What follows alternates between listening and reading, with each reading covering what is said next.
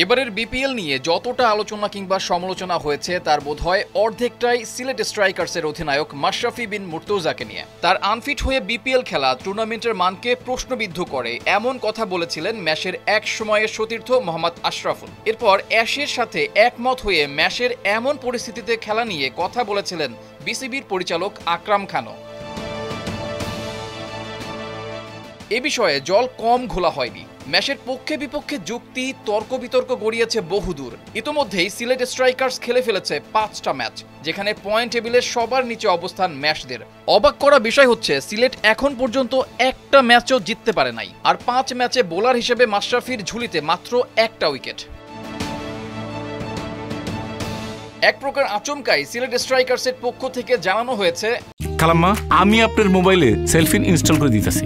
আপনার রেমিটেন্সের টাকা আপনি নিজেই জমা করতে পারবেন। সেলফিন আগামীর ব্যাংকিং জাতীয় সংসদের হুইপের দায়িত্ব পালন করতে দল থেকে বিরতিতে যাচ্ছেন মাশরাফি বিন মুর্তজা। তার পরিবর্তে এখন সিলেটের অধিনায়কের দায়িত্ব সামলাবেন সহ অধিনায়ক মোহাম্মদ মিঠুন। বিজ্ঞপ্তিতে আরও জানানো হয়, যদি রাজনীতির ফাঁকে ম্যাচ দলকে সময় দিতে পারেন, তাহলে এবারের বিপিএল মাঠে আবারও দেখা যাবে তাকে। দলটা মাশরাফির ফেরার অপেক্ষায় থাকবে এবং দলের প্রতিশ্রুতি রক্ষা করার জন্য ম্যাচকে ধন্যবাদও জানায় সিলেট স্ট্রাইকার্স।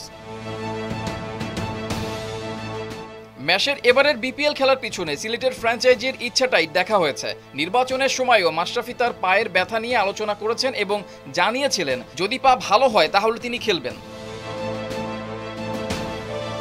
তবে নির্বাচনের পরপরই বিপিএল এর দশম আসর শুরু হলে পায়ের তেমন কোনো প্রতিকার না করেই অনেকটা ফ্র্যাঞ্চাইজির চাহিদাতেই সিলেটের হয়ে খেলতে হয় ম্যাচকে। এ নিয়েই আলোচনায় আসতে হয় তাকে।